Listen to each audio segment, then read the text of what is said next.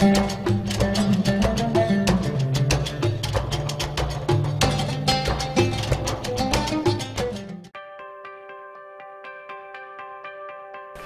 สลิมในสังคมไทยในแต่ละภูมิภาค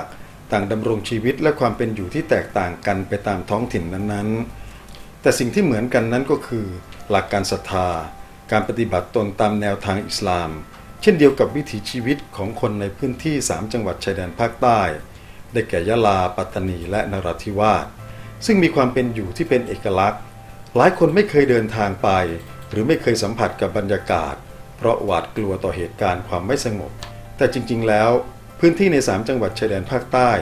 มีเสน่ห์เหมือนเช่น ภาพถ่ายที่สะท้อนชีวิต และความเป็นอยู่ที่น่าหลงไหลเลยทีเดียว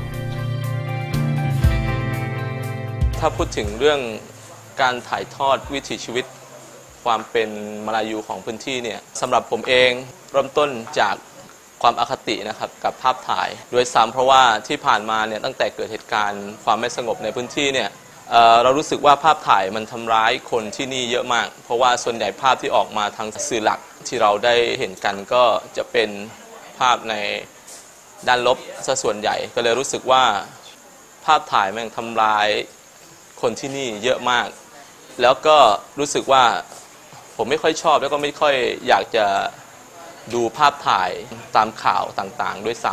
ำแต่ว่ามันมีจุดพลิกผันที่ทำให้ผมต้องกลับมาถ่ายรูปก็คือในช่วงปี 51 เนี่ยครับ ก็มีพายุ depression ถล่มรอบอ่าวปัตตานีก็ทำให้ชุมชนที่อยู่ในตำบลเดียวกันกับผมเนี่ยก็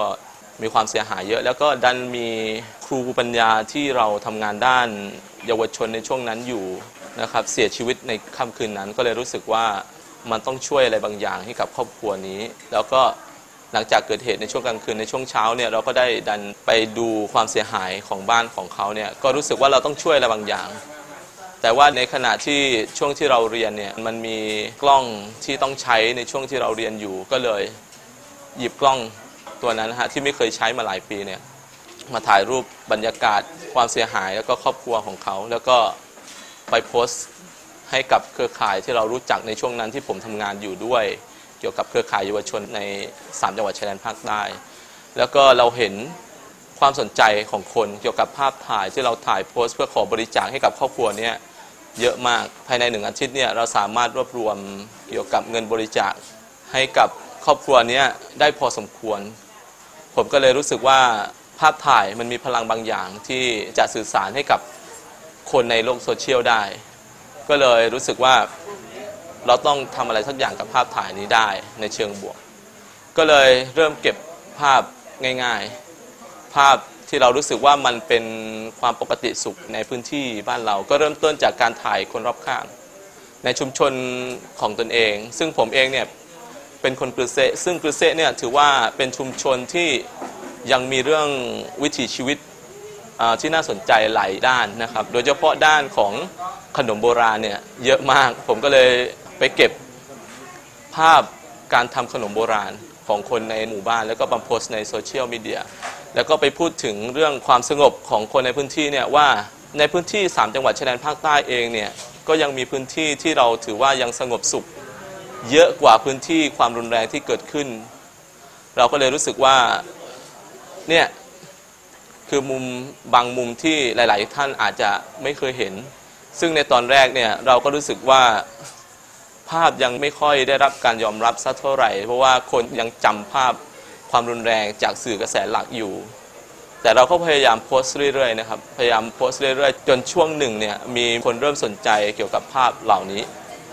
นั่นแหละก็คือเป็นที่มาที่ผมคิดว่ามันน่าจะเป็นจุดเริ่มต้นสำหรับการถ่ายภาพอีกมุมหนึ่ง ของความเป็น 3 จังหวัดให้กับคนได้รับรู้แล้วก็เห็นว่าพื้นที่แห่งนี้ไม่ได้มีความไม่สงบในด้านเดียว ภาพไทยเหล่านี้สะท้อนถึงความเป็นอยู่ของ 3 จังหวัดชายแดนภาคใต้ ถึงแม้เหตุการณ์ความไม่สงบและความรุนแรงในพื้นที่ อาจจะทำให้เกิดความสูญเสีย แต่วิถีชีวิตของคนในพื้นที่ ซึ่งเป็นสังคมพหุวัฒนธรรม มีทั้งชาวไทยพุทธ มุสลิม คนไทยเชื้อสายจีน ก็ยังคงมีความรักความผูกพัน สมัครสมานสามัคคี ช่วยเหลือเกื้อกูลซึ่งกันและกันอย่างแน่นแฟ้น ร่วมมือกันแก้ปัญหาความขัดแย้ง โดยหวังว่าจะนำความสงบสุขในพื้นที่กลับมาอีกครั้งหนึ่ง เพื่อเป็น 3 จังหวัดชายแดนภาคใต้ที่ดึงดูดผู้คนมาท่องเที่ยว มารับรู้ประเพณี และวัฒนธรรมอันดีของชนชาวมลายู